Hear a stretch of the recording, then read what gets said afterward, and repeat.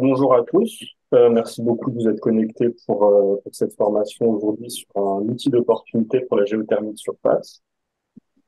Donc, euh, cet outil, c'est pour se lancer dans des projets de chaleur. C'est une perspective, c'est une thématique qui est d'actualité et qui est particulièrement en développement en Ile-de-France. Et donc, aujourd'hui, je vous présente un outil d'opportunité pour la géothermie de surface qui permet de justement se lancer dans ce type de projet. Donc, euh, cette présentation, ça va s'articuler en trois grandes parties. Donc, tout d'abord, une introduction sur euh, dans quelle logique s'inscrit cette formation, dans quelle logique s'inscrit cet outil, pourquoi est-ce que spécialement on parle de cette thématique. Euh, ça, ensuite, en chapitre 2, il y aura une présentation d'outils plus théoriques, plus générales, euh, sur la méthode de calcul utilisée, sur euh, ce que ça calcule, ce que fait cet outil, tout simplement, les différents modes de fonctionnement qu'on a, euh, qu'on a mis en place. Et on terminera par un cas exemple illustré pour voir en fonctionnement l'outil et ça vous permettra de poser les questions que vous aurez sur les différents modes que vous pourrez voir. Voilà. Est-ce que, est-ce que c'est clair? Est-ce qu'on peut commencer? Bah, du coup, peut-être on peut rajouter que pendant euh, le, webinaire, ah, il y en a plusieurs qui ont mis des pouces, donc ça, super, n'hésitez pas à réagir avec euh, les éléments du Zoom. Euh, en tout cas, si vous avez des questions, n'hésitez pas à lever la main pour prendre la parole. Là, on est en, petit nombre, donc on peut tout à fait prendre la parole. Ou alors à poser vos questions à l'écrit dans la partie discuter. et comme ça, on pourra les préparer et et voir ça ensemble. Mais voilà, n'hésitez pas à interagir euh, pendant la présentation. Il y a des temps qui sont prévus aux questions-réponses. Mais s'il y a quelque chose qui vous semble important et que vous souhaitez réagir, n'hésitez pas à lever la main et, à écrire des questions dans le chat. Tout d'abord, cet outil et cette formation d'aujourd'hui, ça s'inscrit en ligne directe de la formation de jeudi dernier, donc le webinaire du 31 août sur la thermique du bâtiment et la méthode 3CL. La méthode 3CL, c'est la méthode de calcul de la consommation conventionnelle d'un logement. Et euh, lors de ce webinaire, on avait abordé en détail tous les calculs de cette méthode, une grande partie des calculs de cette méthode qui permettent d'établir un DPE, donc un diagnostic de performance énergétique. Et cet outil est basé sur cette méthode de calcul, il en reprend les calculs, il en reprend les fondements et les préceptes, et, et euh, il se base, il reprend aussi le calcul des étiquettes de ce diagnostic. Donc, pour si vous avez des questions plus en détail sur les calculs, sur euh, la manière dont sont les différents passages euh, de cette méthode, le webinaire de la semaine dernière est disponible euh, sur le site d'énergie partagée. Et c'est une ressource clé si vous avez besoin, si vous avez envie de vous plonger plus en détail dans cette méthode qui est très calculatoire et comment est-ce que à la main on peut aboutir aux étiquettes d'énergie. Voilà, donc c'est vraiment en ligne directe de cette formation de la semaine dernière. Euh, cet outil, ça a été développé euh, donc en collaboration avec Ateva, euh, l'association pour la transition énergétique et écologique à Ville d'Avray. Et donc en tout cas, je souhaitais remercier Claude qui est avec nous aujourd'hui pour son aide dans et son implication dans la création de cet outil, et notamment les différents documents qu'il a pu me transmettre qui ont pu nous permettre de développer l'outil que je vous présenterai tout à l'heure.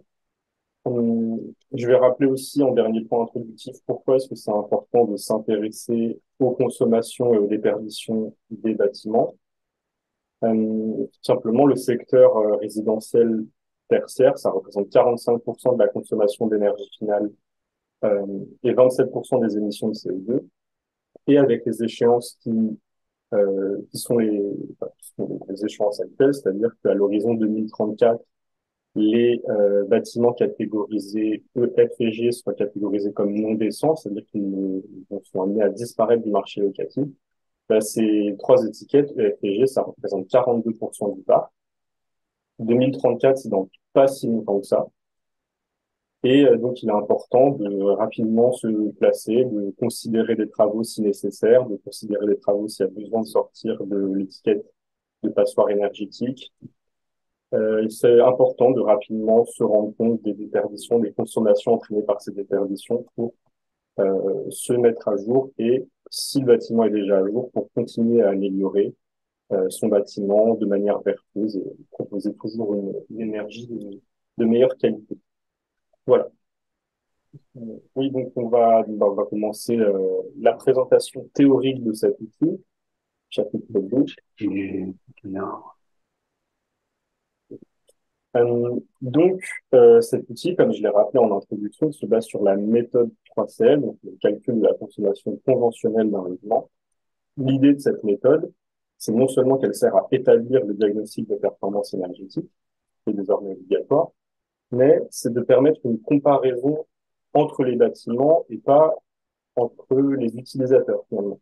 Ce sont des calculs théoriques qui vont être plus ou moins éloignés de la réalité selon la manière dont les utilisateurs vont utiliser le logement, selon, la manière dont les habitants vont consommer.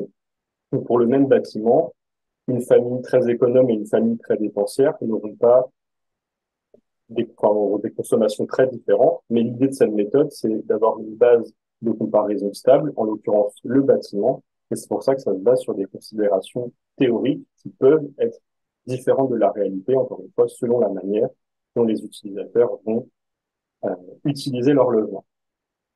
La méthode que j'ai utilisée pour cet outil, c'est la méthode 3CL 1.3. Et l'idée de cette méthode, et c'est l'idée qui va être reprise dans l'outil, c'est tout d'abord d'établir les déperditions et les apports gratuits que reçoivent le bâtiment, d'en déterminer les besoins de chauffage en eau chaude sanitaire qui en découlent, d'aboutir aux consommations qui sont entraînées par ces besoins et à l'aide de ces consommations d'aboutir aux étiquettes énergie et climat euh, qui servent et qui sont proposées tout simplement dans le DPE.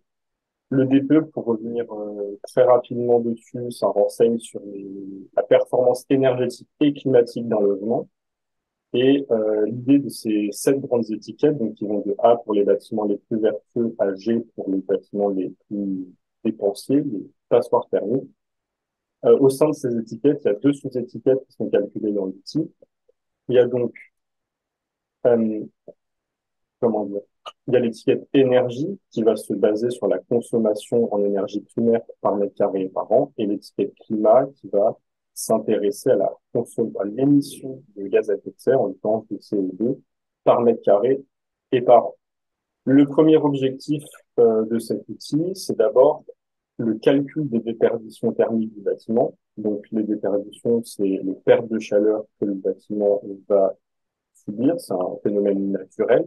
Mais en l'occurrence, un excès de déperdition, ça va entraîner une consommation excessive et une augmentation des factures et aussi, une étiquette énergie ou climat de moins bonne qualité. L'idée de ce calcul, c'est au-delà de trouver les étiquettes, que euh, dans le cas où vous seriez amené à vendre ou à louer votre logement, ces les étiquettes calculées par l'outil euh, ne seront pas valables légalement, donc vous serez quand même amené à contacter un organisme agréé pour avoir l'étiquette globale de votre logement.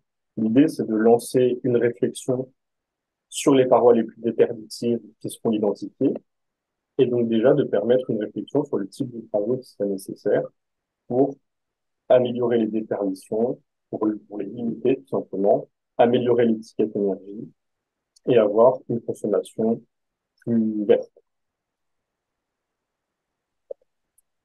Le deuxième objectif de cet outil, c'est euh, de dimensionner techniquement et économiquement une pompe à chaleur. Donc cet outil est basé sur des problèmes de chaleur géothermique de surface. Aura pas de forage à plus de 200 mètres de profondeur. Pourquoi la géothermie? Tout simplement, c'est une énergie propre, c'est un système qui est adaptable à tout type de bâtiment, même existant. C'est un système performant qui répond aux besoins de chaleur et de froid, et c'est euh, dans l'état actuel du réchauffement climatique, c'est un très bon système, très performant. Et euh, l'idée de, de ce dimensionnement technico-économique, c'est tout d'abord un dimensionnement technique de deux manières, soit en fonction des forages que vous estimerez possibles, en fonction des règles en vigueur. Donc, il y aura un dimensionnement en fonction du nombre de forages et de la profondeur qui, pourront se faire au niveau de votre bâtiment. Ça va être un premier dimensionnement technique possible. Ou alors, un dimensionnement en fonction du taux de substitution et de la profondeur des forages choisis, qui donneront une autre valeur de puissance, mais ça va être deux manières techniquement de dimensionner en puissance la pompe à chaleur. Le deuxième dimensionnement qui sera proposé, c'est un dimensionnement économique à l'aide des données rentrées, en l'occurrence notamment la puissance de la PAC qui est soit calculée, soit proposée, et le coût des forages, qui va dépendre de la profondeur et du nombre de forages, on va pouvoir dimensionner économiquement, donc à dire un coût total d'investissement euh, de cette pompe à chaleur. On va aussi pouvoir prendre en compte diverses données renseignées par l'utilisateur pour aboutir à un coût de location sur un certain nombre d'années. En l'occurrence, euh, Valentin vous en parlera plus en détail, mais euh, les impôts, les assurances, ce genre de choses. Le troisième objectif de cet outil, c'est de calculer les étiquettes euh, proposées dans le vidéo. Donc encore une fois, une étiquette énergie et une étiquette climat. Pour l'étiquette énergie, il est important de bien euh, se souvenir que le facteur, c'est 2, 3. Euh, c'est un truc un peu bizarre, mais c'est pas grave. Euh, de considérer en fait la part d'électricité euh, dans les consommations qui vont être étudiées pour cette étiquette énergie, en l'occurrence euh, les consommations de chauffage et de chauffage sanitaire, que en énergie primaire, l'électricité va avoir un impact bien plus grand que les ressources fossiles. Et l'idée, c'est ce qui est calculé par cet outil, c'est qu'une fois avoir obtenu la consommation d'énergie primaire du bâtiment, on va diviser cette quantité par la surface en mètres carrés du bâtiment et on va aboutir à une valeur qui va permettre de nous placer entre l'étiquette A et l'étiquette G pour l'étiquette énergie. Pour l'étiquette climat, euh, l'étiquette climat, donc on prend en compte l'émission de gaz à effet de serre en kilogrammes de CO2 par mètre carré par an. Et pour ça, on va considérer ces coefficients selon encore une fois les postes de dépense, donc le chauffage et le chauffage sanitaire. Et on va multiplier ces coefficients par la consommation respectivement de chauffage et de chauffage sanitaire, on va aboutir à une certaine quantité de CO2, qu'encore une fois, on va diviser par la surface, et on va aboutir à un nombre de kilogrammes de CO2 par mètre carré par an, qui permettra là aussi de nous situer dans ces étiquettes. Il faut savoir que on prend la plus mauvaise étiquette des deux, donc un bâtiment qui a une consommation d'énergie très faible, mais euh, dont les besoins sont couverts avec du charbon, aura une étiquette climat très mauvaise, et donc l'étiquette globale du bâtiment qui sera gardée sera l'étiquette la plus mauvaise des deux. Voilà. Voilà pour les, étiquettes et les différents objectifs de cet outil. Euh, à l'aide, enfin, suite à l'obtention de ces différents objectifs, on a établi trois différents modes de fonctionnement pour trois modes de fonctionnement pour euh, que l'utilisateur, en fonction de son niveau de connaissance de la méthode, soit le plus à l'aise possible. En l'occurrence, il y a trois modes. Donc, un mode par défaut, qui prendra principalement comme données, euh, on reviendra dessus, l'année de construction, construction ou d'isolation. Un mode plus détaillé et pour finir, un mode expert. Euh, pour euh, revenir plus en détail sur ces trois différents modes, le mode employé par défaut, il va prendre, euh, avoir une approche volumique du bâtiment, c'est-à-dire qu'on va considérer le bâtiment comme un, comme un pavé finalement, et on va considérer que les quatre murs extérieurs, notamment, euh, donnent sur le même milieu, donc généralement l'extérieur.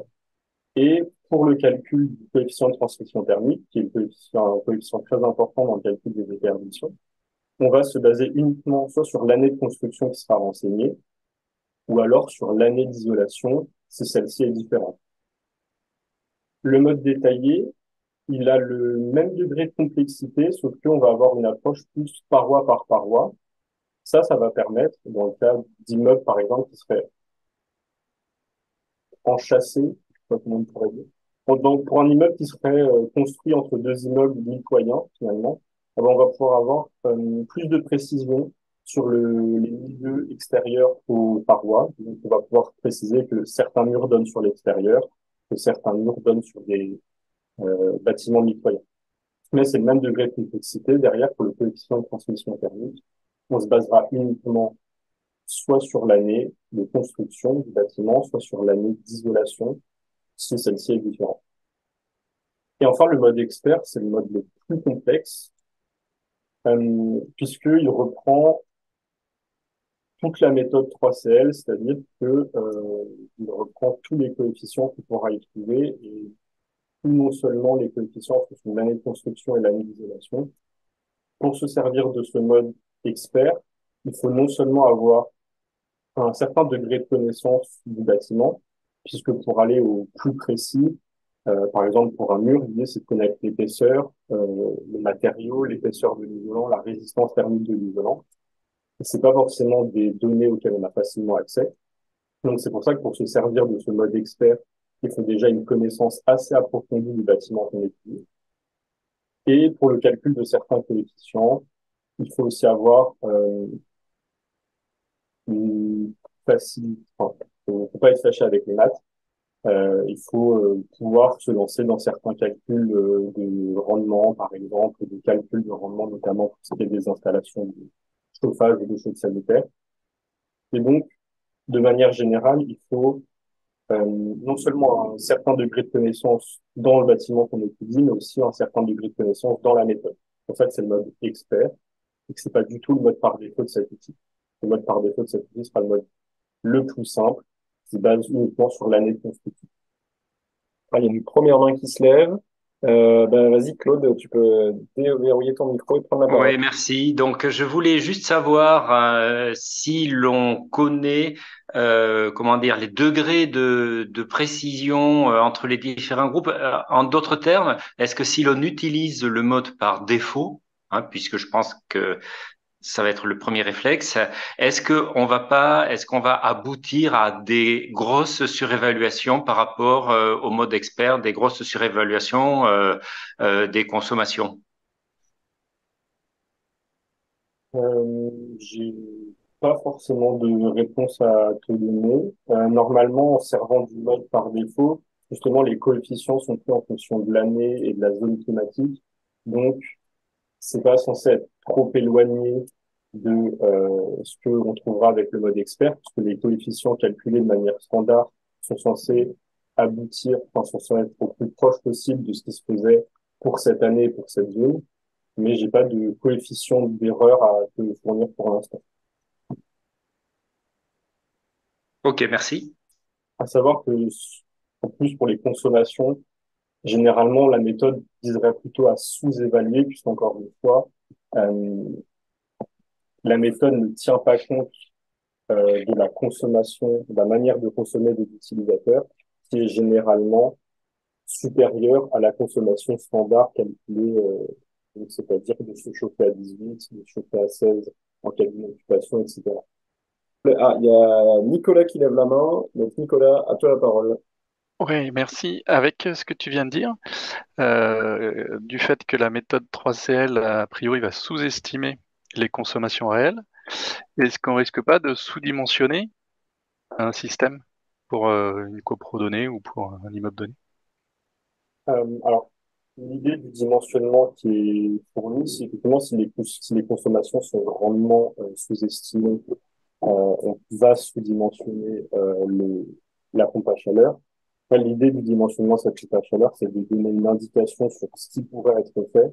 Généralement, les consommations sont pas, euh, enfin voilà, les consommations sont calculées pour le, comment dire, pour une consommation frugale entre guillemets, c'est-à-dire voilà, on se chauffe à 18, euh, à 16 en cas d'inoccupation, on considère des semaines d'inoccupation, dont une pendant l'hiver. Il y a plusieurs hypothèses de calcul, enfin, de nombreuses hypothèses de calcul, mais euh, c'est voilà, ça va dépendre des utilisateurs du logement et le dimensionnement est fait en puissance. Euh, donc, ça donne une indication. L'idée, c'est de donner une indication sur ce qui pourrait être fait en fonction du taux de substitution choisi ou du nombre de forages possible et de permettre déjà une première approche. Euh, on s'engage pas du tout sur les données euh, techniques de la pompe à chaleur. C'est de permettre une première approche, de donner une idée d'opportunité de pompe à chaleur. Et en complément, si on connaît les consommations de l'immeuble qu'on est en train d'étudier, est-ce qu'il y a un moyen aussi justement de, de les rentrer ou de les comparer ou de, ou de les mettre en, input en fait de du reste de la méthode, sans passer par la 3CL en fait? Euh, alors non, il n'y a pas encore de mode peut rentrer euh, directement ce qu'on connaît des factures. Euh, si on veut quand même se servir de l'outil pour faire ça, ce qui peut fonctionner, c'est de jouer avec les rendements des installations de chauffage et d'eau chaude. Euh, et de toute façon, en, modifiant ces cases-là, ces cases de rendement, on va pouvoir coller, si on connaît déjà les consommations de son bâtiment, on va pouvoir les faire euh, matcher, entre guillemets, et derrière, le dimensionnement de la pompe à chaleur se fait en, grâce aux déperditions calculées. Ça pourrait être un moyen de le faire.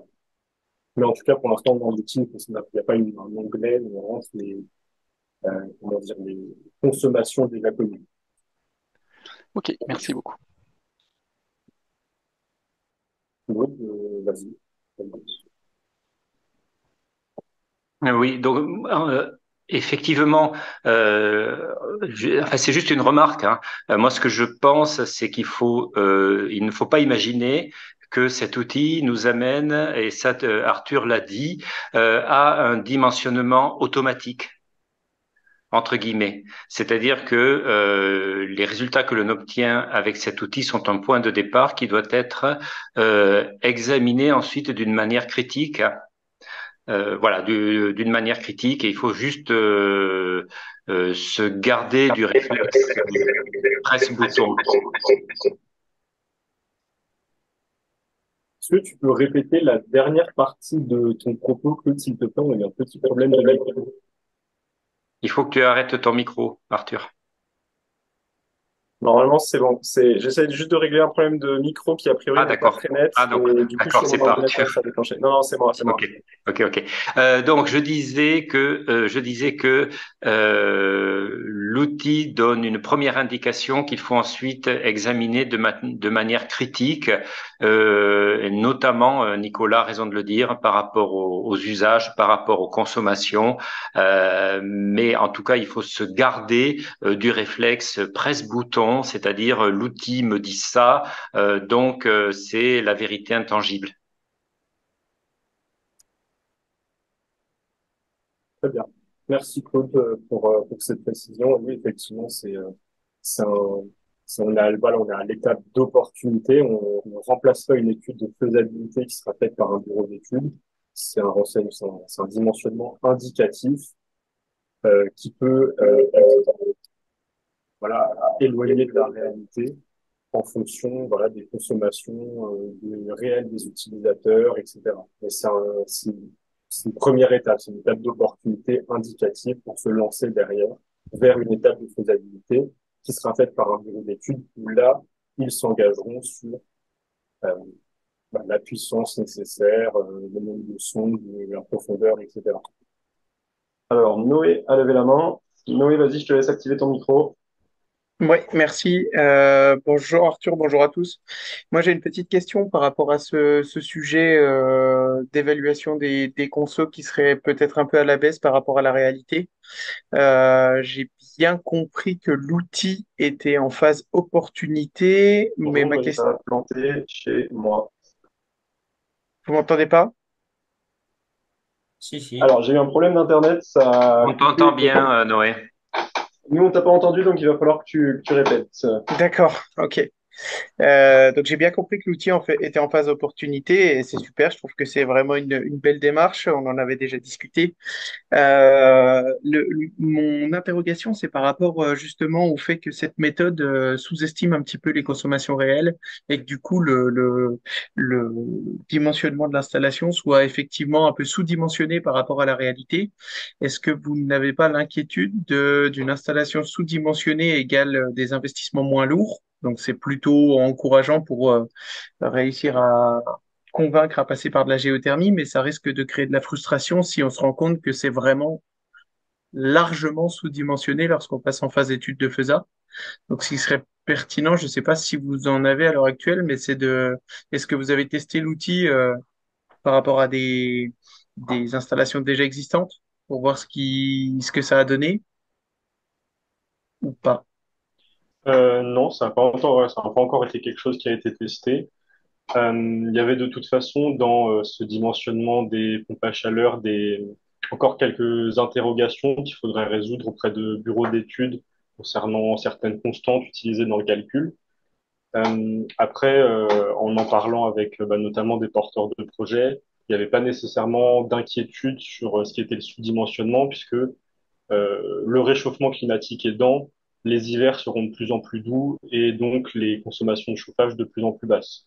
Donc, un sous-dimensionnement euh, léger euh, en 2023 euh, ne serait pas nécessairement euh, très bloquant. Mais après, effectivement, il peut y avoir, si beaucoup trop loin de la réalité, une frustration quand on passe en étude de faisabilité d'avoir un projet euh, qui se serait, qui se chiffrerait à beaucoup plus que ce qui avait été initialement imaginé. Mais euh, c'est euh, en réflexion il y a encore de toute façon un peu de travail à faire pour certains coefficients euh, de puissance, ce genre de choses. Donc voilà, il y a encore des, encore une réflexion sur certains coefficients qui entrent en compte, qui doit se faire. Ok. Là où je te rejoins peut-être un petit peu moins, c'est par rapport au fait que, effectivement, avec tout ce qui est réchauffement, réchauffement climatique, le sous-dimensionnement peut ne plus poser de problème dans quelques années, sauf que d'ici à ces quelques années-là, euh, ça risque de causer des problèmes sur tes installations, surtout.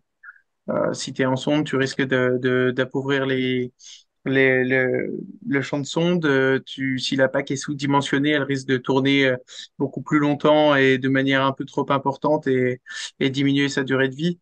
Donc ça apporte d'autres problématiques. Donc c'est juste, il faut faire attention. Mais après, je suis bien d'accord que c'est de l'opportunité et que du coup, euh, là, on est plutôt sur le sujet mécontentement de d'une réalité qui ne serait pas, euh, d'un résultat qui ne serait qui ne serait pas la réalité. Mais c'est en fait faut voilà, c'était juste un point d'attention, mais euh, il n'y a pas de voilà une remarque que je me faisais. Pardon.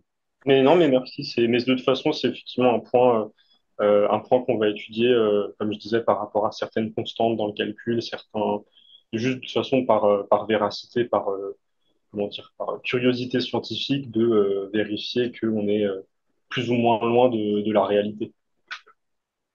Claude, tu voulais peut-être réagir à... Alors, il y avait aussi So qui avait levé la main. Ah, Je sais pardon, j'ai pas euh, si euh, la main s'est baissée par inadvertance ou si euh, la question a été abordée.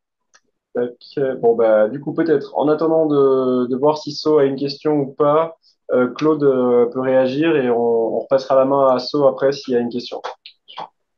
Ce que je voulais dire, c'est que par rapport à ce que vient, euh, au problème que vient de soulever Noé, nous, nous avons,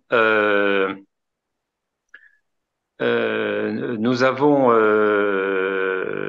travaillé en opportunité, non pas avec cet outil, mais euh, avec une autre méthodologie euh, sur plusieurs copropriétés, et à chaque fois, le point bloquant euh, du dimensionnement est l'existant, c'est-à-dire qu'à chaque fois, c'est le foncier disponible pour la réalisation des forages qui a dimensionné l'installation.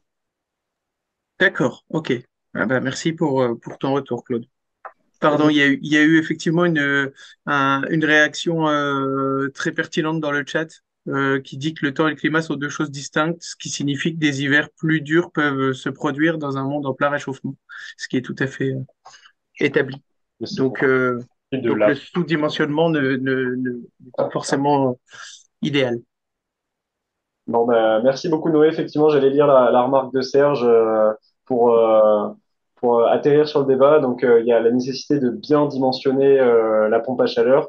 Mais comme l'a dit Arthur, cet outil sert à, faire le, l'opportunité pour ensuite creuser sur des données plus engageantes et plus précises. C'est, vraiment un outil qui est censé faire gagner du temps dans le sens où on saura à, à l'issue de la complétion de l'outil si ça vaut le coup de suivre ou pas. C'est vraiment ça l'objectif principal. Euh, du coup, So a une intervention, mais un problème de micro. Euh, bah, du coup, So, j'ai essayé de demander la réactivation du micro. Est-ce que ça a fonctionné? Oui, excusez-moi de vous déranger. Voilà, non, j'étais la même intervention, c'était justement pour dire que on pouvait également avoir des hivers froids et qu'à ce moment-là, quand on en aurait besoin, on n'aurait rien sous le pied. Donc voilà, c'était juste, euh, je, je corrobore euh, l'intervention qui, qui a été faite. Voilà. Eh ben, super. Merci beaucoup. Ouais. Bon, bah, si tout a été, euh, si tout a été abordé, on va poursuivre euh, par un, par un petit cas exemple. On va aller euh, voir l'outil en action. Donc, pour ce cas exemple, l'idée, c'est que là, je vais présenter quelques slides avec des informations auxquelles on pourrait avoir accès si on était amené à s'intéresser à son immeuble, voilà, son bâtiment. Et ces quelques informations, oui, non, Euh, c'est quelques informations auxquelles on pourrait avoir accès, voilà, dans le cadre d'une visite, si on était euh, intéressé par euh, se servir de cet outil. Donc pour ça, j'ai pris pour exemple, voilà, un bâtiment situé à Ville d'Avray, construit en 1968. Donc ça, c'est des données qui vont être très importantes pour la méthode 3CL. En l'occurrence, nous, comme on l'a dit, avec le mode le plus simple qui se base sur l'année de construction, c'est bien évidemment un paramètre très important. Mais pour des données plus euh, climatiques, notamment, on en a parlé, euh, la température extérieure de base ou l'altitude ou l'ensoleillement, ce genre de choses, on prend en compte le département. Et euh, pour euh, une estimation en besoin et donc en consommation d'eau chaude sanitaire, et même après pour les étiquettes, on a besoin du nombre de logements et de la surface totale habitable. Donc là, pour euh, ce cas-là, j'ai pris, euh, c'est tiré d'un vrai immeuble à Ville-d'Avray, donc euh, où il y a bien 68 logements et euh, qui fait bien 3625 mètres carrés en surface habitable. alors du coup, avant de continuer, je vois que Patrick avait levé la main. Euh, vas-y, Patrick, si tu avais une question ou une intervention. C'était par rapport à ce que vous disiez sur le... Bonjour à tous déjà. Par rapport à ce que vous disiez sur le sous-dimensionnement ou surdimensionnement, si on, si on dimensionne l'installation par rapport à des températures extrêmes d'hiver, on va avoir forcément un surdimensionnement de l'installation, donc un coût d'investissement plus important. Je pense qu'il faut euh, au contraire euh, dimensionner pour des températures euh, qui correspondent à 90% des, des jours de, de, de froid. Et puis, euh, s'il y a quelques jours dans l'année, 10 ou 15 jours, où les températures sont un peu extrêmes, eh ben, on utilise un autre mode qui est peut-être un peu moins écologique, mais qui, permet de, pallier le, manque par rapport à l'installation dimensionnée. C'est de toute façon comme ça que se font, euh, effectivement les installations, c'est que c'est fait pour fonctionner pour des températures euh, standards, entre guillemets, que pour les quelques jours, les quelques semaines où ça peut être plus rude, il y a de toute façon toujours un appoint. On ne dimensionne jamais une installation pour qu'elle couvre 100% des besoins, enfin une installation renouvelable comme ça. Il y a toujours une chaudière d'appoint qui, en cas de moment particulièrement rude, va pouvoir assurer le maintien, va pouvoir couvrir les besoins en chauffage et en eau chaude lors de ces périodes. Du coup, c'est peut-être quelque chose Ouais. qu'on verra au moment du dimensionnement plus précis euh, de la PAC ou pas, le- la quantité d'énergie qui est euh, euh, produite par la pompe à chaleur en comparaison du besoin total ou? Oui, il y a une, il y a une comparaison quand, dans le dimensionnement de la PAC de l'énergie générée annuellement par la pompe à chaleur et euh, de, il y a une comparaison avec euh, l'énergie nécessaire pour le chauffage. Et on verra, on verra. Dans les autres euh, il y avait, informations, peut-être une autre question, je crois. Quelqu'un avait pris la parole? Ou je suis pas sûr. Non, bon bah Oui, si, c'était c'était moi, donc Noé Imperadori. C'était simplement pour dire que c'est pas le cas, c'est-à-dire que la géothermie peut tout à fait répondre à 100% des besoins, en chaud comme en froid, et qu'il y a beaucoup, beaucoup de bâtiments qui ne sont équipés que d'une installation de, de, de géothermie et non pas forcément de la biénergie. Alors ça dépend énormément du type de bâtiment, mais le fait de dire qu'il y a toujours euh, une chaudière en complément, c'est pas la, la réalité. Il y a, ça peut se faire, ce qu'on appelle de la biénergie, mais il y a beaucoup d'installations qui sont uniquement chauffées en géothermie, ok. Bah merci. pour info. Non mais c'est merci. Ok, bah vas-y euh, Arthur, je te laisse poursuivre sur le cas exemple. Et euh, en dernier, en dernières informations qui sont importantes, c'est euh, notamment, ça on le verra dans l'outil, la zone climatique pour notamment voilà tout être température extérieure de base, euh, d'autres données encore, euh, d'autres données climatiques ou d'autres données techniques, comme par exemple la température moyenne de l'eau froide, qui vont dépendre de grandes zones euh, en France, donc il y en a huit, euh, quelque chose comme ça, sept ou huit. Et enfin l'altitude, mais en l'occurrence, nous, dans notre cas, l'altitude de 42 mètres, c'est un point important, mais nous, dans notre cas, ça ne va pas jouer dans les calculs. Euh, dans les autres données auxquelles on, peut avoir accès lors d'une visite, et ça, ça va être euh, notamment important pour simplement les déperditions des parois, on a euh, des informations sur les murs extérieurs, sur le plancher, sur la toiture, notamment information assez importante sur la toiture, c'est qu'elle a été refaite récemment. Euh, une autre information importante, c'est que les menuiseries, les menuiseries pardon, sont récentes. C'est PVC double vitrage, c'est un cas tout à fait classique. Et euh, que pour le mur extérieur et pour le plancher, c'est isolé, mais c'est pas très performant. On verra ça plus tard. Euh, et là, du coup, je vais aller ouvrir l'outil, donc je vais arrêter mon partage. Euh, est-ce que vous avez des questions sur déjà les données pour ce cas exemple, ou est-ce qu'on va aller directement euh, à l'outil? Donc là, c'est des questions euh, plutôt d'ordre euh, technique que Oui, ouais. Est-ce Ouais. que, euh, est-ce que vous pensez que c'est accessible pour vous, euh, enfin, est-ce que vous pensez que vous pouvez avoir accès à ce genre d'informations? Est-ce que ça, déjà, c'est beaucoup trop pointu? Sophie, moi je, je voulais juste te poser, donc on n'aura que des deux, enfin que besoin d'informations sur le bâtiment. Là pour l'instant, euh, c'est que le, que le bâtiment et uniquement le bâtiment. Euh, C'est-à-dire pas de pas d'informations sur les consommations réelles des habitants. C'est ça la question? Entre autres, oui. Euh, non, l'idée c'est que justement euh, la méthode 3CL se dégageant complètement de euh, de ce que font euh, les habitants, on va avoir besoin pour comparer les bâtis entre eux uniquement d'informations sur les bâtiments pour estimer des déperditions, estimer des apports gratuits et donc calculer toujours de manière standard et théorique des besoins, des consommations et donc des étiquettes. On précise pas le nombre d'habitants de l'immeuble, par exemple. On ne précise pas non plus les hauteurs de plafond.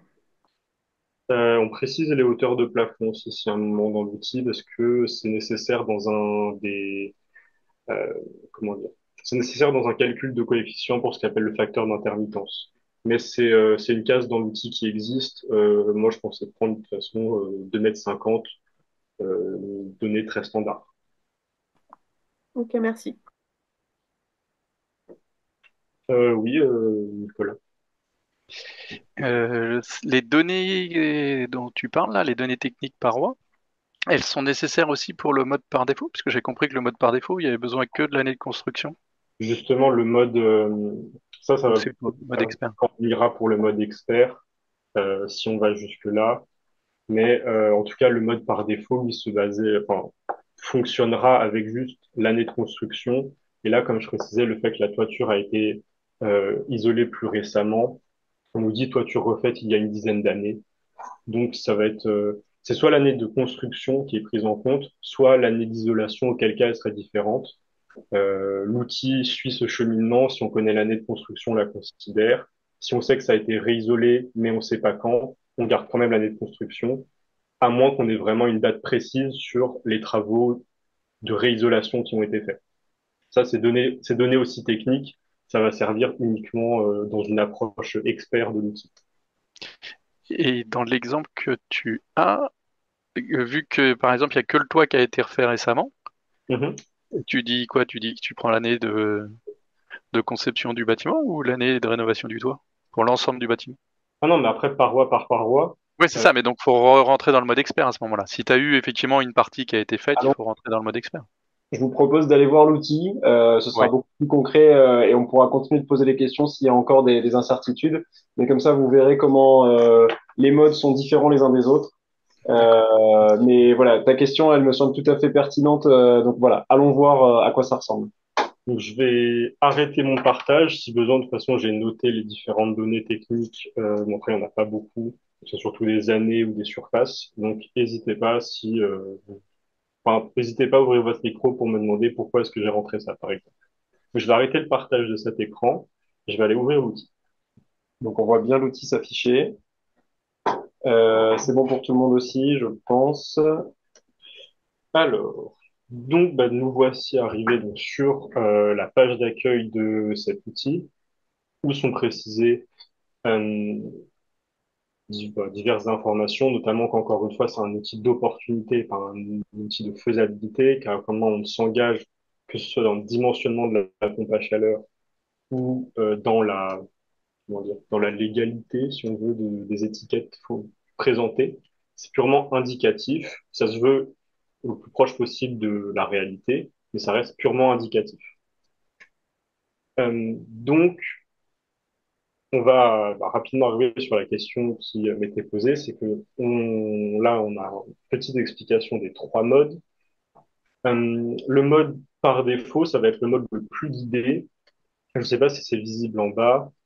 Euh, c'est le mode euh, A, en gros. Donc, tous les onglets qui font référence à la lettre A vont être des onglets euh, qui font référence au mode par défaut. Et ils sont aussi soulignés en vert parce que c'est le mode le plus facile, le plus basique. Est-ce que ça se voit sur... Très bien. Et donc l'idée de ce mode, c'est une approche volumique. Euh, donc on considère un bâtiment dans son intégralité où tous les murs, et pas forcément toutes les parois, mais tous les murs euh, donnent sur le même milieu extérieur, mais va quand même avoir une variation. Euh, Vas-y, continue, je fais juste le plein écran. Eh ben non. Euh, hop. Vas-y, continue. donc il y a aussi un mode détaillé. Ce mode détaillé, il est reconnaissable en fait à la lettre B dans les onglets. Et euh, ce mode, il va permettre d'avoir voilà une approche euh, surtout enfin, surtout pour les murs, euh, vraiment mur par mur ou mur extérieur par mur extérieur du euh, bâtiment, on va pouvoir donner une information sur est-ce que par exemple ce mur est accolé à une habitation ou pas. Mais il garde le même degré de complexité, c'est-à-dire qu'il se base aussi paroi par paroi sur l'année de construction ou d'isolation. Et enfin, le mode expert, c'est le mode qui est reconnaissable à la lettre C, où euh, ça va être le mode le plus complexe, où c'est aussi celui auquel on va, grâce auquel on va pouvoir accès. Euh, donc déjà, on va avoir euh, un premier, une première batterie de, de questions à l'utilisateur ou de renseignements demandés à l'utilisateur. Ça des données qui vont être nécessaires, quel que soit euh, le mode de calcul. Pour ça, ça va être des données extrêmement générales. Déjà, est-ce que c'est un immeuble ou une maison, euh, le département, l'altitude, la hauteur sous plafond. Ça, ça va être des données qui vont être nécessaires, quel que soit le mode utilisé. Et ensuite, on va avoir euh, un renseignement sur justement la manière dont sont produits euh, et le chauffage et euh, l'eau chaude sanitaire. Et ça, ça nous servira notamment pour euh, ce qui est non seulement des consommations, mais aussi surtout des étiquettes.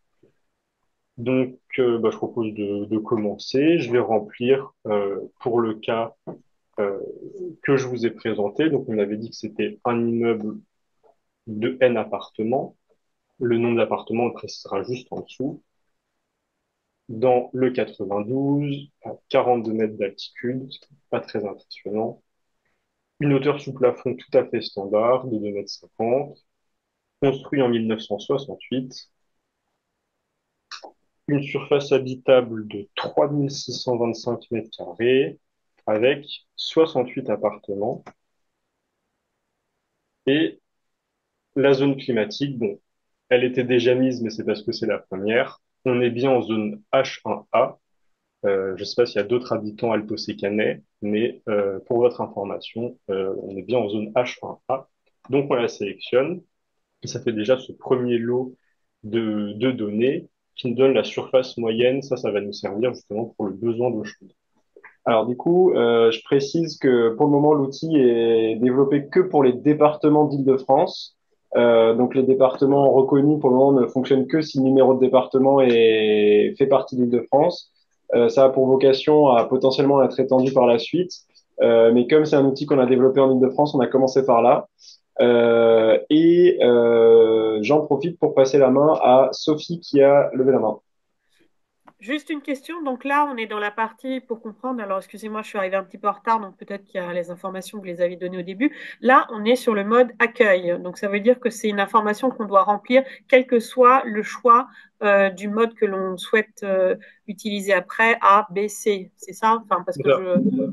C'est des informations tout à fait qui vont être nécessaires de toute façon qu'on soit en mode euh, basique ou en mode expert. C'est des informations très générales justement. Donc voilà, le département, est-ce que c'est un maison, est-ce que c'est une maison ou un immeuble? C'est ce qu'il faudra de toute façon remplir, quel que soit le mode euh, choisi par la suite. Merci. Euh, le rendement d'installation de chauffage et d'eau chaude sanitaire sont fixés aux euh, données que vous avez là. Et en l'occurrence, pour euh, notre bâtiment, on a 100% euh, du chauffage et de l'eau chaude sanitaire qui sont produits à l'aide de chaudières à gaz, en l'occurrence à gaz naturel. Donc, on rentre le pourcentage et le type d'énergie pour le chauffage et pour l'eau chaude sanitaire, c'est du gaz naturel. Ces deux données-là, ça va euh, avoir une influence sur les coefficients que je vous avais montrés pour l'étiquette climat. Fonction du type d'énergie, on va avoir un coefficient euh, par rapport aux émissions de CO2. Bah, c'est là que se fait la sélection. Une fois qu'on a rempli ça, on a regardé, on dit que ça semblait être bon, on choisit le mode d'utilisation et on clique sur le bouton correspondant, en l'occurrence, nous, par défaut. Et donc là, on va avoir, euh, ça va répondre à une des premières interrogations, c'est qu'on a quand même une séparation paroi par paroi, mais juste l'approche volumique se fait au niveau des murs, c'est-à-dire que on considère que tous les murs, et pas toutes les parois déperditives, mais en l'occurrence tous les murs, donnent sur le même milieu. Euh, je vais juste bouger ça. Voilà.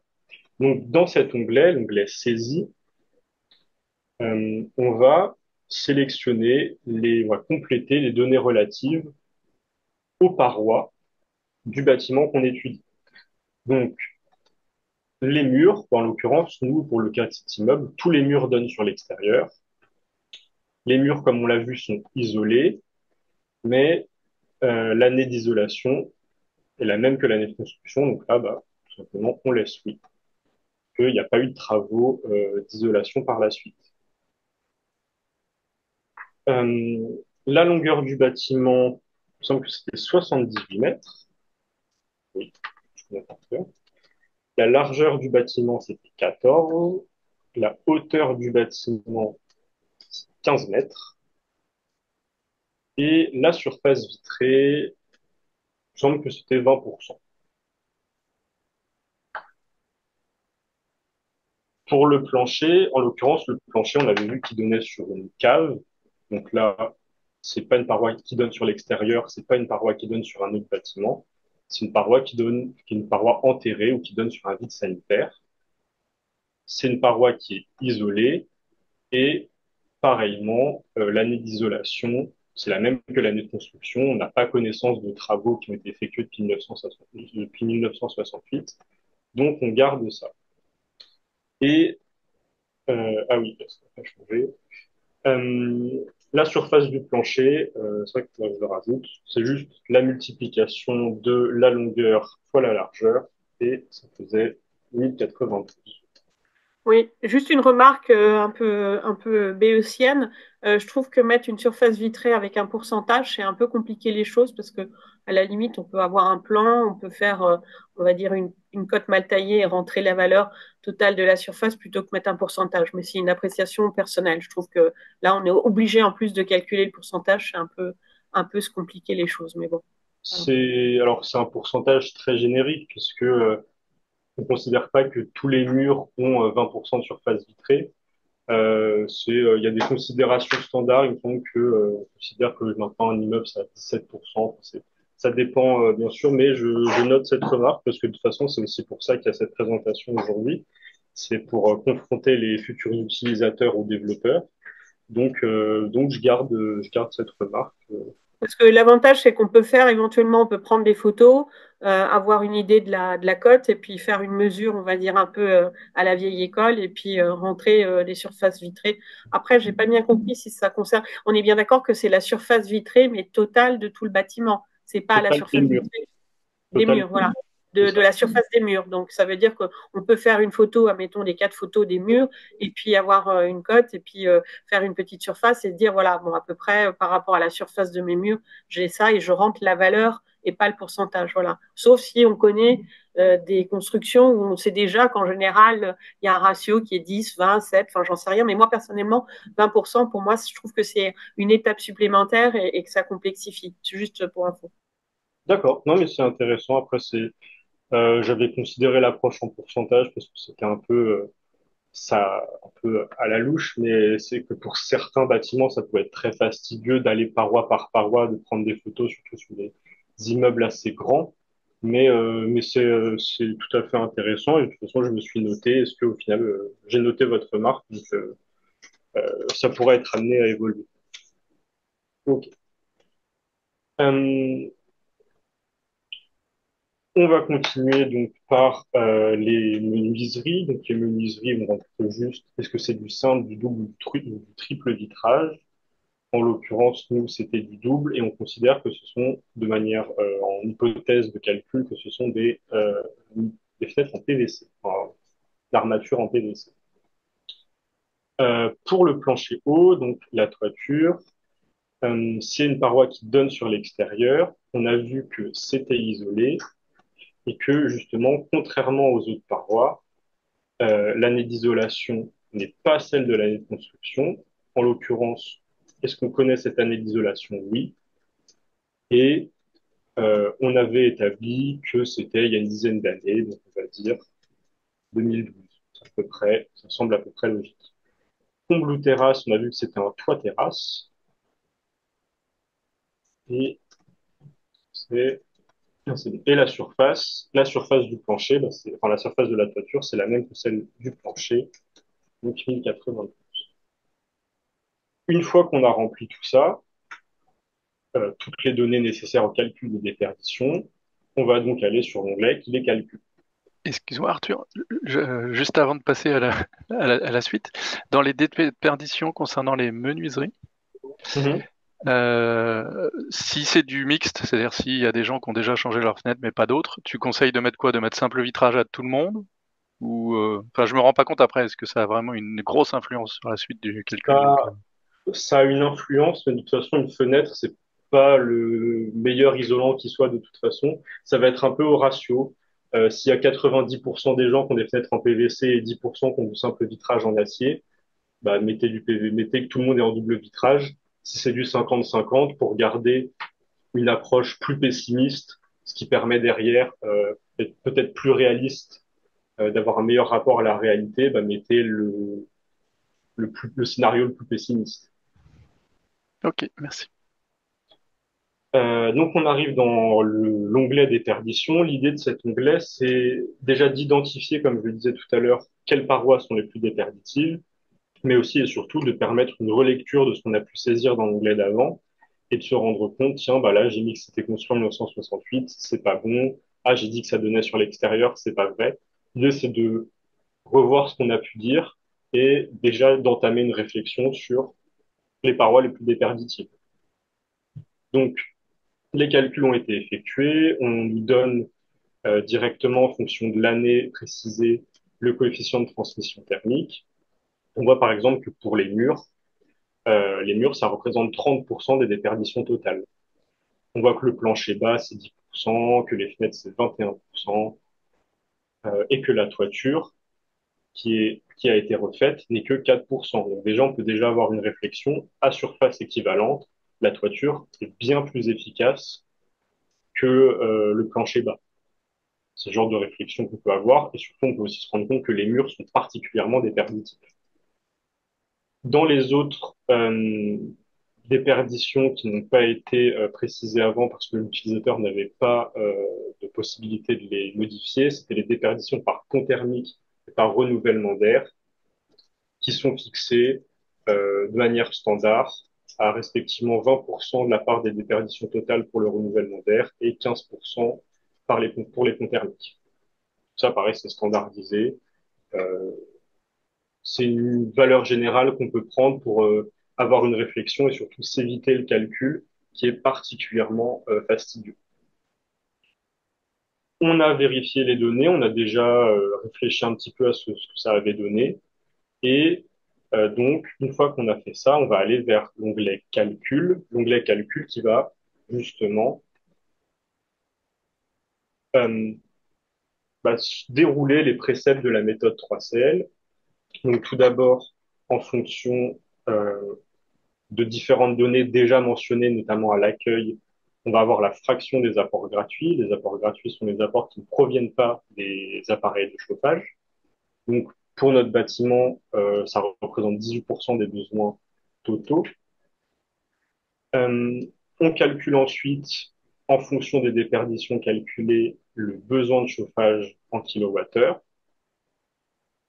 À l'aide de ce besoin de chauffage, on peut accéder à la consommation de chauffage en kilowattheure. On calcule également le besoin d'eau chaude sanitaire et la consommation d'eau chaude sanitaire. Et on obtient donc, en faisant la somme de ces deux consommations, qui sont les deux consommations qu'on considère pour les étiquettes, les consommations totales.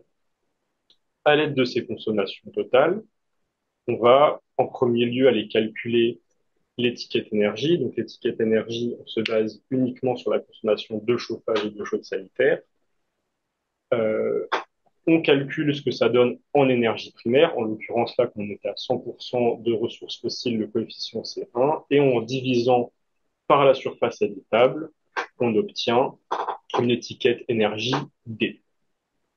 Pour l'étiquette climat, on a les consommations poste par poste, donc en chauffage et en eau chaude sanitaire. On a précisé que c'était euh, effectué grâce au gaz naturel et en divisant les émissions totales en CO2 par la surface, on obtient 53. 53, ça fait une étiquette climat E. Donc, pour finir, euh, une fois qu'on a rempli tout ça, là, dans, cet onglet, l'utilisateur n'a absolument rien à compléter. C'est directement euh, ensuite direct de l'onglet saisie et de l'onglet déperdition. On obtient donc l'étiquette globale du bâtiment actuellement, sans pompe à chaleur, sans travaux. Euh, comme on prend la plus mauvaise des deux, bah, l'étiquette globale du bâtiment, c'est E.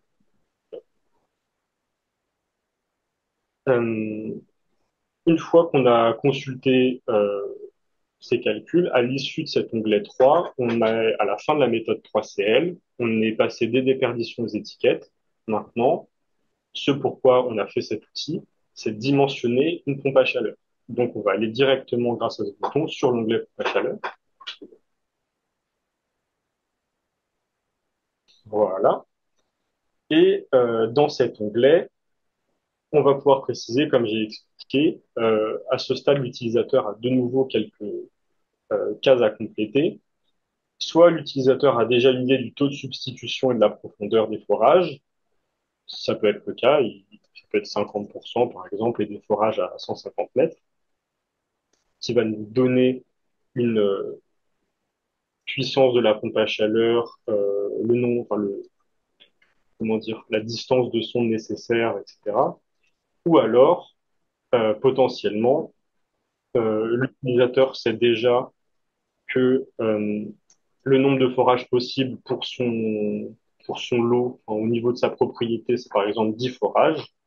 Et avec ça, en méthode inverse, on va aboutir à la puissance de la PAC à laquelle, auquel ça, à quoi ça correspond et le taux de substitution en conséquence.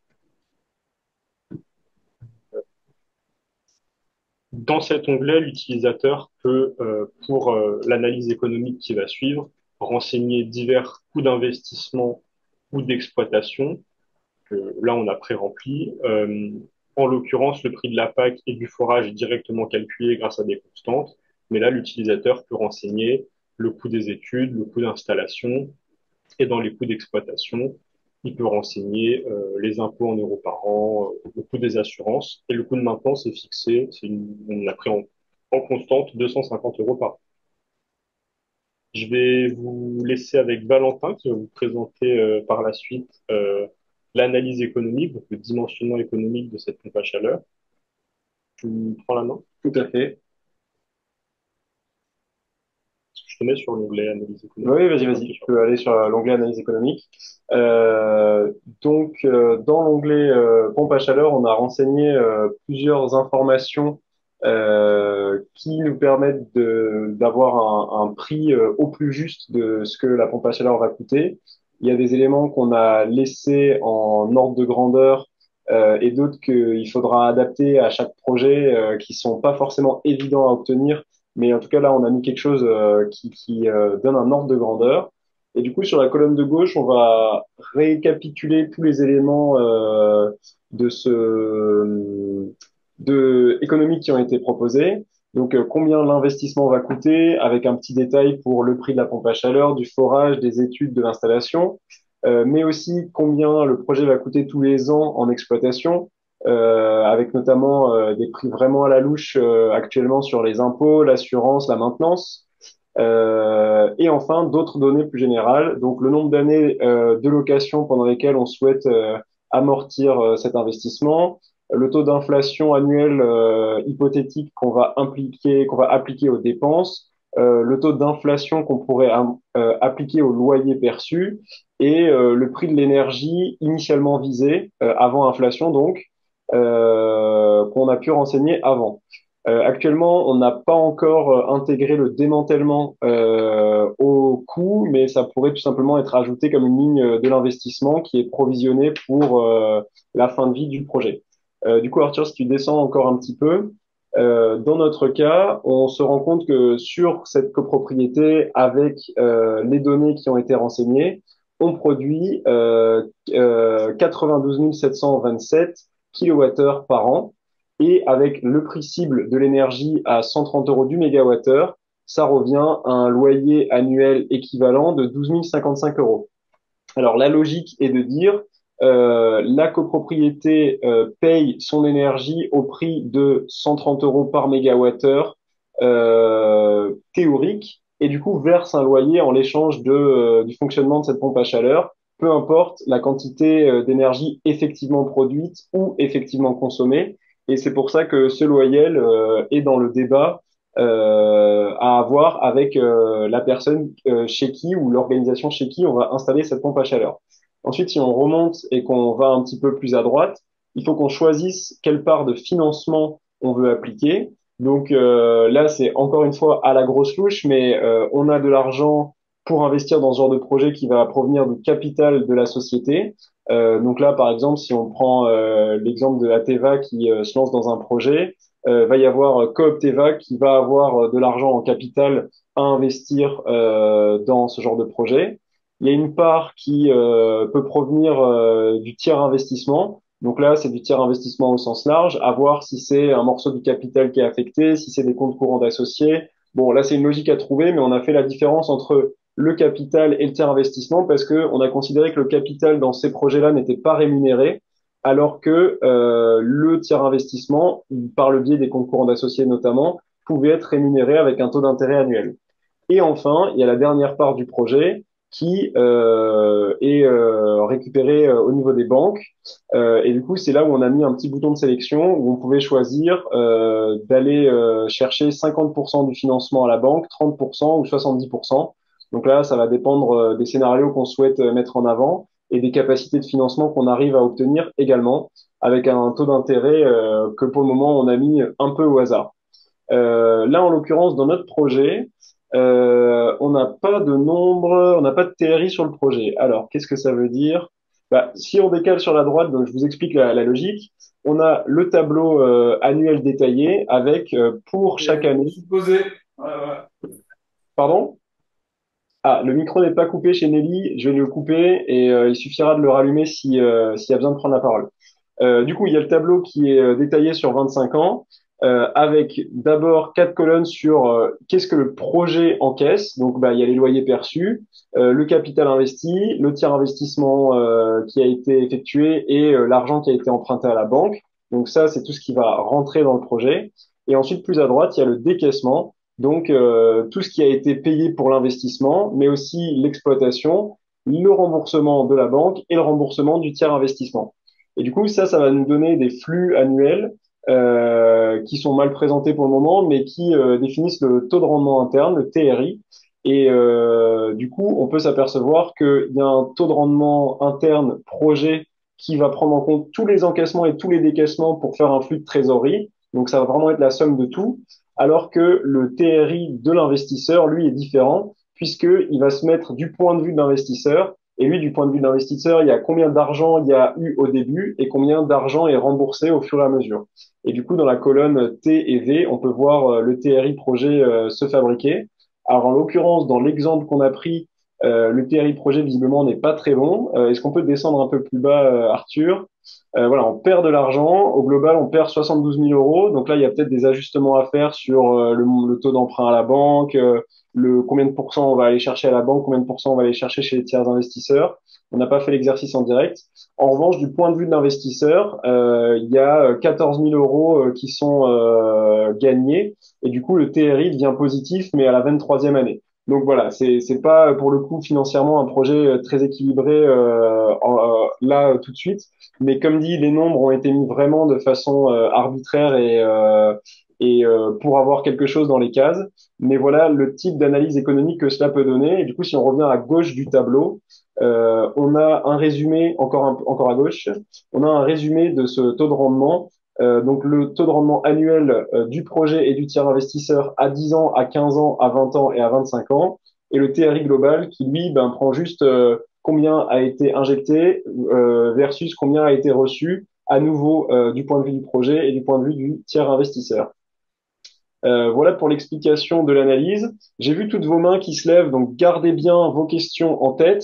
On finit juste de parcourir l'outil euh, en repassant la main à Arthur sur l'onglet de résultats et après on prendra toutes vos remarques et toutes vos questions.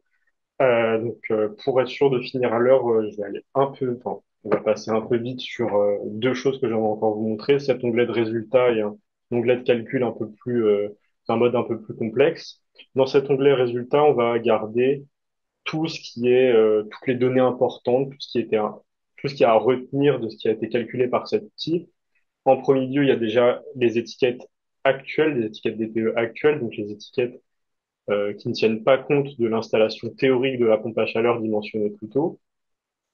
Pour la pompe à chaleur, on a gardé les données de la pompe à chaleur qu'il est possible d'installer, parce que ça fait plus de sens. Et à l'aide de euh, dimensionnement de cette pompe à chaleur possible, on a un calcul des étiquettes DPE corrigées, donc qui tiennent en compte, qui tiennent compte de la euh, production énergétique de la pompe à chaleur, et on voit ainsi que là, en l'occurrence, pour ce que nous on a dimensionné, que l'étiquette énergie passe de D à C, que l'étiquette climat passe de E à D, et donc que l'étiquette globale, pour notre cas, euh, monte un barreau, euh, passe de E à D. C'est purement indicatif, encore une fois, mais euh, ça donne déjà, ça permet déjà une réflexion que peut-être ce type de pompe à chaleur, couplé à des travaux de rénovation énergétique comme bah, une, meilleure, une meilleure isolation des murs, on a vu que c'était euh, un point particulièrement faible du bâtiment étudié, et eh ben on peut considérer qu'on pourrait passer d'une étiquette logement de E à peut-être C. C'est, euh, ça permet la réflexion, ça permet d'aller vers la, de, lancer une réflexion, de lancer euh, une envie d'aller vers une étude de faisabilité pour un projet euh, de chaleur renouvelable, tout simplement. en dernier lieu, il y aura bien sûr le, les résultats de l'analyse économique. Et arrivé à ce stade, on peut soit retourner vers la saisie des données du mode par défaut, ou retourner à l'accueil pour sélectionner peut-être un autre mode de calcul on garde euh, les mêmes données, euh, on va utiliser le même bâtiment et on va aller par exemple aller vers le mode détaillé. Euh, et là justement, on va avoir cette idée de euh, détailler mur par mur. C'est toujours le, même le même schéma, sauf que au lieu d'avoir les murs de manière globale, on va avoir les murs indépendamment en fait. Donc le mur 1, est-ce qu'il donne sur l'extérieur? Euh, on va dire que oui, oui, il est isolé. euh, oui, c'est la même année euh, de construction, mais plutôt que d'avoir une approche volumique où on dit que tous les murs donnent sur le, même milieu, bah, par exemple, on va pouvoir dire que potentiellement, le mur 2, le deuxième mur de notre, de notre logement, bah, il donne pas sur l'extérieur, par exemple, il, est, il donne sur un autre bâtiment. Immédiatement, on va avoir une modification des coefficients. Euh, peut-être qu'un autre mur, lui aussi, donne sur un autre bâtiment. Peut-être qu'un quatrième mur donne lui à nouveau sur l'extérieur. Et dans ce mode donc détaillé, on va toujours se baser uniquement sur l'année de construction ou d'isolation. Par exemple, là, on va, poursuivre, on va comparer deux murs. Euh, oui, il est isolé. Euh, oui, l'année d'isolation, c'est l'année de construction. Donc ça, on n'a pas besoin de le remplir. L'année de construction, c'est bien 1968. La surface du mur, euh, bon là, pour le coup, c'est purement un exemple. On va prendre les deux mêmes. On va dire que c'est des murs qui font 100 mètres carrés, ont 20% de vitres. Alors du coup, Arthur, euh, comme il reste 8 minutes, euh, qu'on n'a pas encore pris de questions, euh, est-ce que euh, tu peux juste montrer euh, la fin de à quoi ressemble l'onglet détaillé, montrer à quoi ressemble l'onglet expert, et ensuite on passe aux questions et on passe la main à Elodie. Donc, euh, l'idée, c'est que dans ce mode détaillé, hormis les murs qui sont, euh, on peut avoir jusqu'à six murs euh, différents pour permettre une géométrie de bâtiment un peu alambiquée. Derrière, on va avoir dans ce mode détaillé les mêmes données à remplir que pour euh, le mode par défaut. Donc, pareil, un plancher bas, les menuiseries, le plancher haut, et on va avoir directement euh, les ponts thermiques et le renouvellement d'air. Et le mode expert, qui est le mode le plus complexe, on va avoir pareil une séparation paroi par paroi, donc mur par mur, mais dans ces murs, on va avoir beaucoup plus de potentiel d'informations à remplir, non seulement sur quel type de milieu ça donne, mais potentiellement, est-ce qu'il est isolé, oui ou non, ça c'était déjà vu, mais est-ce qu'on connaît la résistance thermique de l'isolant, est-ce qu'on connaît l'épaisseur de l'isolant, on va avoir accès à beaucoup plus d'informations, et ça, ça va être le cas pour tous les types de parois, puisqu'on va également avoir ce type d'informations pour le plancher bas. Les menuiseries, on va avoir beaucoup plus d'informations. On peut aller jusqu'à du triple vitrage euh, avec différents gaz dedans. Le plancher haut, pareil. Et là, de manière générale, on va aussi avoir de manière standardisée les ponts thermiques et le renouvellement d'air. Et par la suite, en remplissant ces onglets, on va pouvoir avoir accès au même, au même onglet de calcul qui va donner accès aux étiquettes, puis à la pompe à chaleur, puis aux étiquettes corrigées. Euh, Est-ce qu'on a des questions maintenant? Ouais, je pense que c'est le bon moment. Euh, on avait Nicolas qui a levé la main et euh, Noé. Euh, oui, merci beaucoup déjà pour la présentation et pour l'outil. Ça a l'air vraiment top. Ça donne envie de, en- envie d'essayer. Euh, moi, j'ai une question. Alors, l'analyse économique, euh, j'avoue pas avoir forcément tout suivi. Ça a été un peu rapide pour moi, mais surtout dans la partie, au départ de l'analyse économique, dans la partie OPEX, il n'y a pas de consommation électrique de compter. C'est normal parce qu'on consomme bien euh, avec un système comme ça. C'est vrai, la consommation électrique est pas prise en compte pour le moment. Euh, Mais elle est calculée dans tous les cas dans le dimensionnement de la pompe à chaleur, donc c'est quelque chose qu'on qu'on peut rajouter si, euh, si c'est nécessaire et si c'est considéré dans ces coûts-là. Mais en tout cas, elle est non, calculée. c'est un oubli. Je pense qu'il faut le considérer dans les coûts euh, d'exploitation et euh, comme on a la valeur en kilowattheure, on peut euh, transformer ça en euros par an. Merci, tout à fait. Ok, merci beaucoup. Et en tout cas, ouais, encore merci pour, euh, pour l'outil et la présentation. Alors il y avait Noé, puis Quider, puis Claude.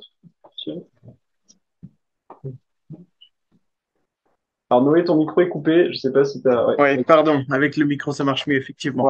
Voilà. Euh, euh, ouais, merci beaucoup pour la présentation et pour cet outil.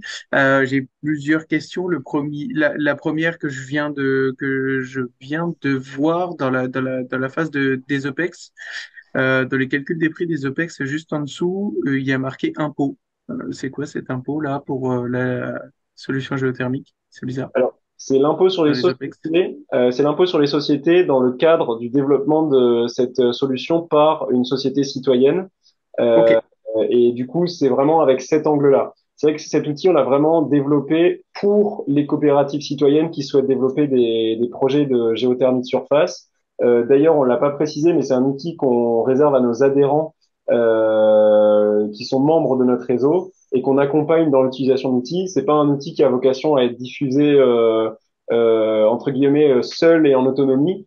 Euh, c'est un outil qui est utilisé dans le cadre du réseau énergie partagée et dans un premier temps Île-de-France. Ok, eh ben, super, parce que ça répond à une de mes autres questions qui, qui était euh, est-ce que vous avez prévu de faire une note d'opportunité complète avec ce, avec ce, en plus des résultats de ce calcul, parce que il y a plein d'informations, à mon avis, à expliquer, à préciser euh, à la suite de ça. Ah oui, ça viendra de toute façon avec un guide utilisateur qui précisera les sources des coefficients, mais aussi qui expliquera, euh, notamment pour le mode par défaut ou le mode détaillé, euh, pourquoi est-ce que certains coefficients ont été choisis dans la méthode plutôt que d'autres? Ce sera de toute façon accompagné d'un guide pour euh, justifier des calculs qui sont donnés et euh, Ok, de leur et euh, de leur, de leur raison d'être. ok, super. Euh, merci. Euh, on est passé un petit peu vite, un petit peu vite sur l'aspect euh, sur l'aspect calcul et euh, en tout cas de, tout ce qui est pompe à chaleur et, système géothermique. Je, suis désolé. Euh, du coup, j'avais une ou deux questions par rapport à ça. Euh, vous vous basez sur quoi par rapport pour euh, donner tout ce qui est profondeur de, de forage sur sur parce que je veux dire en termes réglementaires, il peut y avoir des contraintes aussi. Euh, je pense qu'en région, pa- en région parisienne, notamment, il doit y avoir un certain nombre de contraintes vu l'utilisation du sol qu'il peut y avoir. Euh, vous, vous, vous allez informer euh, du coup les, euh, les utilisateurs de cet outil de tous ces points réglementaires, de toutes ces choses-là, ou pas? Ou c'est pas dans vos missions? déjà dans le guide utilisateur, il y a renseignement sur la manière dont on peut ou pas installer des forages, de leur distance la clôture, etc., mais aussi de mettre un lien potentiellement vers euh, un site du BRGM qui donne euh, région par région ce qui est possible de faire. Euh, c'est encore en réflexion, mais déjà en tout cas pour ce qui est des forages, il y aura un guide sur euh, euh, on peut pas mettre des forages à deux mètres l'un de l'autre euh, collés à la ouais, clôture du voisin. Ce sera ouais. précisé dans le guide utilisateur. Super. Ce que, ce qui peut être pertinent aussi, c'est peut-être de mettre le contact ou de mettre en contact avec l'animateur géothermie régional, à savoir Armand Pomard à la FPG, qui est là pour ça, euh, pour pouvoir accompagner des projets aussi. Euh, donc ça peut euh, l'outil plus plus les conseils avisés de de, l'animateur peuvent permettre de bien mener le projet. Et, une dernière question, après je, je, laisse la parole. C'est d'où est-ce que vous tirez vos, vos prix, les notions de prix, parce que le, les coûts pompe à chaleur et les coûts forage me semblent assez faibles. Alors c'est super si en Île-de-France c'est si peu cher, mais c'est pas les échos que j'avais eus. Alors, c'est tiré de données de l'ADEME auxquelles j'avais eu accès, qui considérait euh, que c'était, il me semble, 780 euros par euh, kilowatt pour la pompe à chaleur et 130 euros par mètre pour le forage. C'est de toute façon une case dans un tableur. C'est amené à être modifié avec euh, d'autres coefficients quand on se lancera dans une approche de, comment dire, de vérification euh, de, de, de, se mettre en contact avec des bureaux d'études ou des gens qui ont euh, plus de connaissances que moi sur ces domaines et d'aller modifier en accordance ce que j'aurais appris euh, dans le tableur. C'était des données pour l'instant indicatives euh, euh, qui sont faibles, euh, je l'ignorais, mais c'était des données que j'avais pu récupérer euh, via l'ADEME. Donc euh, de toute façon, si ça amenait à changer, bah, ça change. D'accord, parce que là, du coup, on est d'accord que sur ta simulation-là, le coût, euh, enfin, le, le, le coût de la pompe à chaleur se base sur les 154 kilowatts de puissance. Non, sur les 55. Ok, c'est pour ça, j'avais mal regardé. Excuse-moi. Du coup, c'est, 55 de puissance fac. 154, c'est le besoin. ouais. Alors du coup, Euh, on a juste essayé de séparer le tableau en deux. C'est pour ça qu'il y a un peu cette distinction. À gauche, c'est euh, ce qu'il faudrait théoriquement pour atteindre le besoin de chauffage euh, qui a été dimensionné, le taux de substitution. Alors qu'à droite, c'est ce qu'on est capable de faire. Euh, par exemple, on sera peut-être pas en mesure de faire le nombre de forages nécessaires. Et du coup, à gauche, on a le prix de la pompe à chaleur, du forage euh, qui euh, qu'il faudrait faire pour atteindre le montant euh, espéré. Et à droite, c'est celui qu'on va effectivement faire. Euh, du coup, euh, je vous propose, euh, Noé de, et Arthur, de laisser ce sujet-là de côté, avec la possibilité de se recontacter par la suite pour approfondir euh, de ce point de vue-là, parce que ça me semble quand même super intéressant. Euh, il est déjà 31, on a un peu dépassé. Je vais laisser la main à Quider et on va finir avec 5 minutes de retard. Euh, désolé pour ce petit raté, mais on va essayer de, de finir le tour de parole. À toi, Quider. Euh, merci. Euh, ma remarque est tout simplement pour les murs. Est-ce qu'on euh, ne devrait pas tenir compte de l'orientation des murs? Alors, l'orientation des murs ne joue pas pour ce qui est des apports. L'orientation, ça va jouer pour les apports solaires. Et les apports solaires sont pour l'instant négligés pour le, dans le mode par défaut, dans le mode détaillé. Et c'est quelque chose qui sera sans doute présent dans le mode expert, que l'utilisateur puisse rentrer les apports solaires. Mais pour les apports solaires, on considère euh, que euh, l'orientation des vitrages, mais ce sera sans doute un calcul qu'on laissera, enfin, qui sera fait par l'utilisateur et qu'on laissera la possibilité de rentrer dans le mode expert. Et surtout, ça vient d'une réflexion où, euh, en, comparaison du reste, les apports solaires sont vraiment euh, minimes, Dans euh, notamment en Île-de-France, avec des ombrages très forts, des immeubles alentours, avec euh, Un voilà, un contexte. annuel assez faible de toute façon et couplé aux masques proches et lointains, surtout proches euh, dans nos départements. Et les apports solaires, euh, je les ai considérés négligeables pour euh, les modes les plus simples. Ok. Eh ben, merci merci. Merci Quider. Euh, du coup, on repasse euh, Arthur sur les slides et on laisse euh, 2, 3, 4 minutes à, à Elodie pour finir un petit peu au pas de course. Vraiment désolé. Euh, S'il y a des choses qui sont pas claires, on pourra se recontacter. Et surtout, euh, vous avez le webinaire, comme l'a rappelé Elodie à l'écrit, qui sera euh, accessible euh, sur notre site internet au grand public et que vous pourrez revisionner pour voir des éléments qui euh, vous semblent encore euh, un peu confus. Qu'est-ce qui est, par- qu'est-ce qui est partagé là? Alors là, on voit ça. Donc, si tu arrives à passer les quelques slides. Yes, parfait. Ah, tu dis quand ça commence. Euh, bonjour à toutes et à tous. Je vais faire très rapidement pour pas euh, vous bloquer plus que ça. Euh, donc, comme l'a déjà dit Valentin, l'outil, il va être accessible que aux adhérents d'énergie partagée. Donc, pour rappel, les adhérents, aujourd'hui, on est un peu plus de 400 adhérents, des, donc des collectivités territoriales, des collectifs citoyens, des coopératives, des associations, des bureaux d'études. En fait, toute forme d'organisme qui voudrait s'intégrer au réseau est la bienvenue du moment qu'elle respecte la charte d'énergie partagée et, euh, et qu'il ne s'agit pas de personnes morales. Pardon. L'adhésion n'est pas ouverte aux personnes morales, mais euh, le territoire d'Île-de-France est parsemé de collectifs citoyens déjà existants. Donc, si vous êtes une personne à titre individuel aujourd'hui, n'hésitez pas à, vous rapprocher de Valentin ou moi euh, pour, pour avoir plus d'informations sur les collectifs existants près de chez vous. Je veux bien que vous passiez la slide, s'il vous plaît. Euh, du coup, je vais vous expliquer un peu l'intérêt d'adhérer au réseau. Euh, donc, l'idée, c'est vraiment de faire partie, voilà, d'un réseau, d'un ensemble d'acteurs qui travaillent pour, dans le même sens de l'énergie citoyenne. Donc, l'idée, c'est de représenter, défendre l'énergie citoyenne par des actions de plaidoyer, par exemple, de rejoindre un réseau d'acteurs et d'échanger.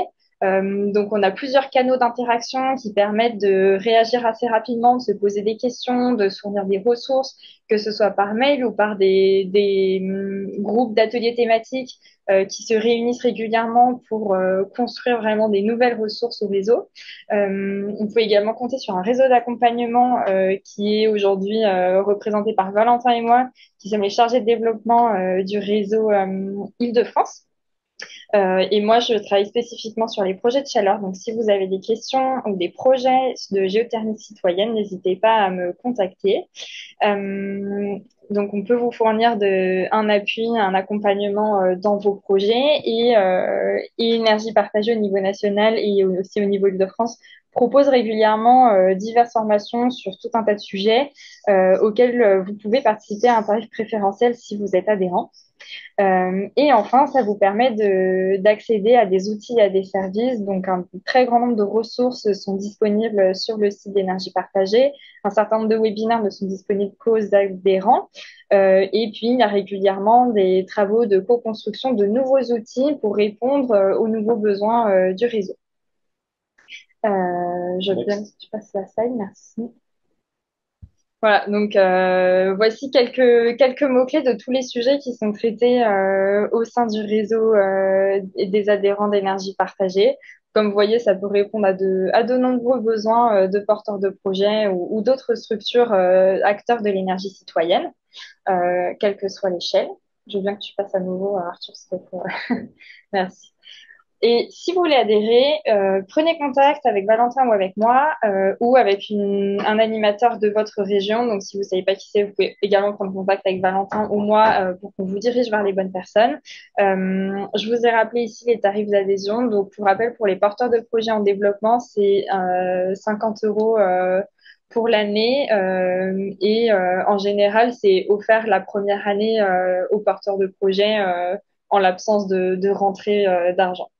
Euh, j'ai fait le tour, il me semble, euh, sur l'adhésion. Merci d'avoir écouté ces quelques minutes de plus et pour votre intérêt et, toutes vos questions et, suggestions.